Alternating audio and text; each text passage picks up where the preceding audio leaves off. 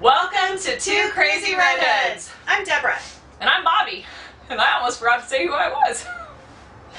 and we are here to talk about a wine that I am like very, very excited to have. Okay, you introduce the wine and then I'll pour. Okay, so this is from Foxen in Santa Barbara County. It is their 2007 Pinot Noir from the Sea Smoke Vineyard. Yay! Yay! And we've gotten out the uh, Riedel stemware for this because it, The sommelier series. It's like Yeah. the super like. I'm just noticing my. Anyways. I'm the one who's always going to point out to you when the glasses are dirty. I'm like, oh, it's not that they're dirty, it's that they have a little It's a wine. spot. oh, the spot. The wine's still Especially on these, because these are so pretty. Like, they shouldn't have These are spots. just like, look at how big this is. Yeah. This glass, actually, you can fit a whole bottle of wine in here, but don't. Yes. So Bobby's gonna pour it Oh, you could.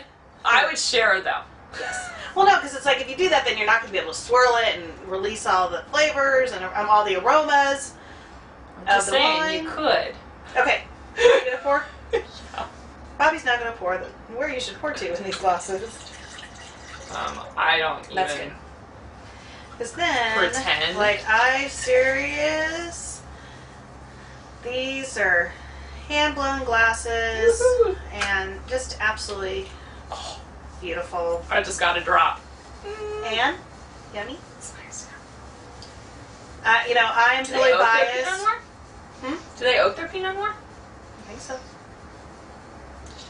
I I'm totally biased because I'm a big fan of Foxen, um, and I'm a wine club member there. Which is how she got this wine? I did. I did get it in my wine club shipment, and the reorder. I'm only going to order two more bottles, and I'm going to do it Cool. if we like it, of course. Yeah, if we don't like it, We don't like it, a waste order of money. um, Oh. this smells wonderful, by the way. Oh. Very cherry and Oh.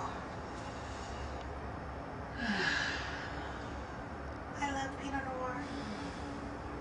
she loves this Pinot Noir especially. Okay. Um, Wow. Okay, so cherry. Um, blueberry.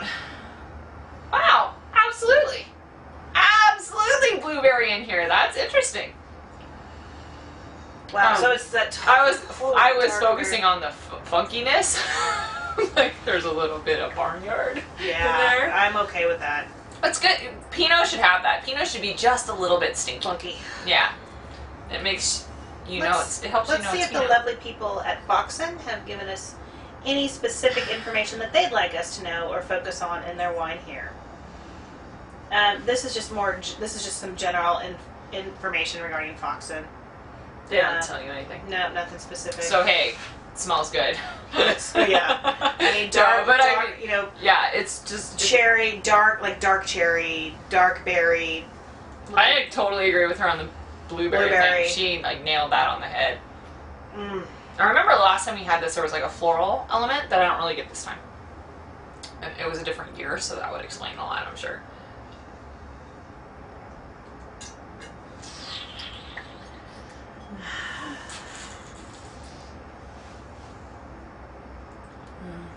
This will age well.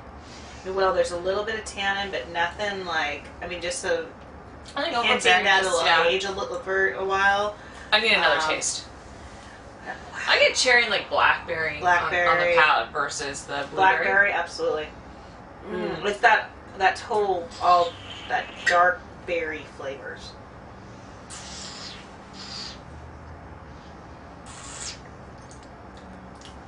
Oh, I gotta work on looking at you guys instead of like around because I think better with my eyes closed.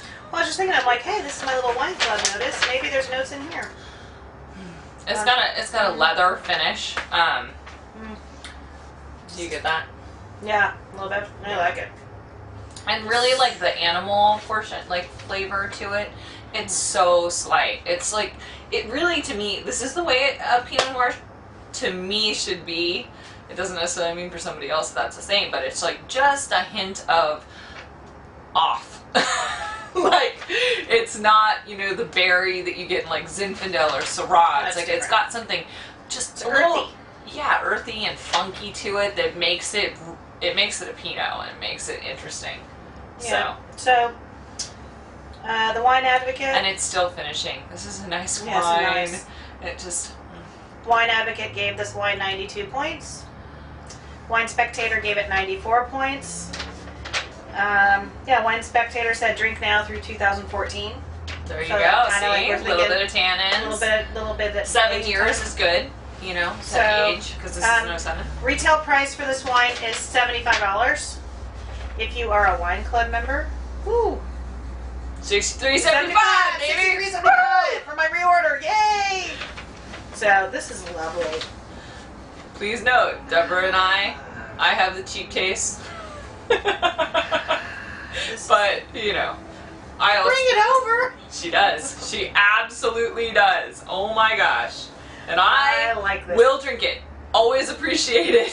This ah, nice. Never complain. Yeah, I like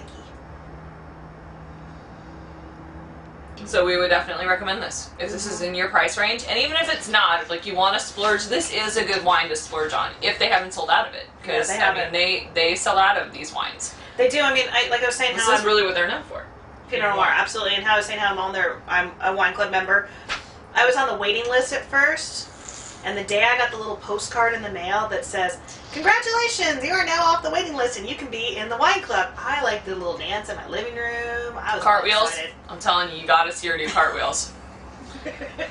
That's entertaining. Absolutely. So, anyway, th- definitely a wine to enjoy. Great for special occasions. You know, if you Like are more into, if you're into splurging on a regular basis, great wine to splurge on. Um, Good to have in the you know higher end glassware. Yes, absolutely. Like- this is the kind of wine you want in nice stemware. Yeah, especially because the Riedel had said kind of a good rule of thumb is spend the same amount per glass as you do per bottle. And this is, I mean, you know, so it's a 75 retail price bottle. It's a hundred dollar glass, so it's like you know, And this is about as good as the glasses get, is a hundred bucks. So Oh, you know, if you uh, if you buy twenty two hundred dollar bottles of wine, you're probably not watching our video, and I No. have no idea how you would ever find a glass that expensive. no, but I just thought about that. I was like, but you know, but for your higher, you know, end wines or whatever that you really this you These are great.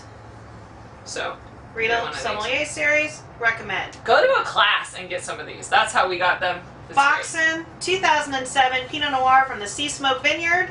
Sea Smoke Vineyard. Other people source fruit from this vineyard as well, and their Pinot Noir is always usually year Yeah. after year pretty you know spectacular as well. All right, so, So, that's us. two, crazy, redheads. Cheers. Cheers. Oh. Gently.